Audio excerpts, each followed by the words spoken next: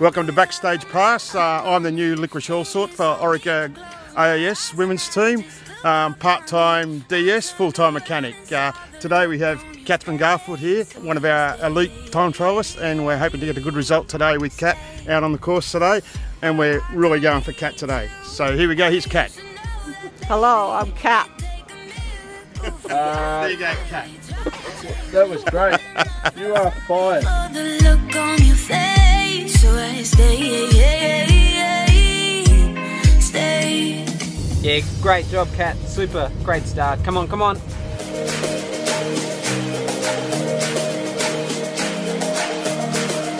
Really strong, big gear. Come on, really drive it. That's it. Yeah, Katrin's doing a super job. She's 42 seconds up on Shara Gillow, who's uh, running second at the moment. So, fingers crossed. All she's got to do is maintain this intensity, and, and she should be home and hosed. What do you reckon there, Skip?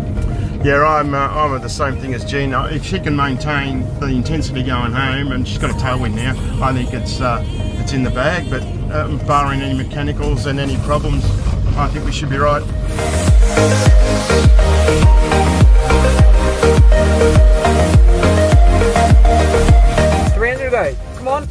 Finish, all the way. Everything you got. I'm feeling stuffed and happy. It's a weird cocktail of feelings. Um, it was it was amazing. I went out pretty hard because I just wanted it so badly, and I had to remind myself to pull back and um, slow down. And the radio didn't work properly, so I thought that Gene was telling me I was five down on a U-turn. So I had a bit of a fight in my head then. I just have to push it back, I have to push it back. So I didn't actually know where I was sitting really. I just thought that's what I heard and that's why I kept on fighting. I hope so. Yeah, I was pretty stuffed when I came through. I, yeah. And uh, how's it feeling for Sunday now? Um, I took some pressure off myself, I guess. I can relax for Sunday, go out there and play.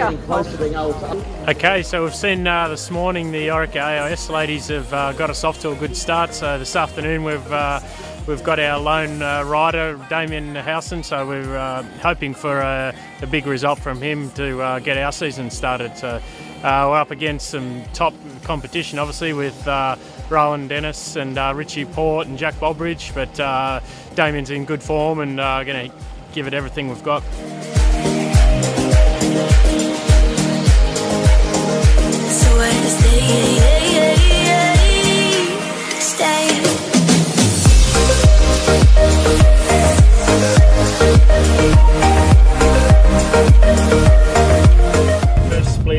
Are only 15 seconds down. So uh, yeah, got Damo sitting in a good uh, position at the moment. He's roughly around fourth on the road at the moment at the midway point. He's coming home strong. Uh, Rohan's got the looks like he's setting the pace at the moment with Richie uh, close behind him. So it's all within 20 25 seconds at the turn, which is a huge improvement on last year. So uh, and we've got the climbing big climbing section coming up, which Damo uh, is going to go is going to be super strong in that section. So fingers crossed for a, a strong back half. To go, mate. Come on, come on, up to speed. Come on, dig deep.